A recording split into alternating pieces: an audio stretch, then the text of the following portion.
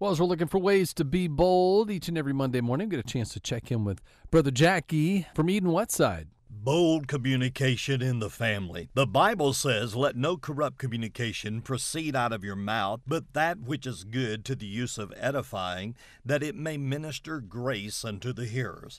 In the family, communication is absolutely essential. The number one problem in marriage is poor communication. We must remember that men and women are different in communication, and it takes time to communicate. The barriers to communication can be busy schedules, not really listening to each other, blowing up and clamming up, hurt, poor timing, fear, and resentment. We must decide to make communication happen.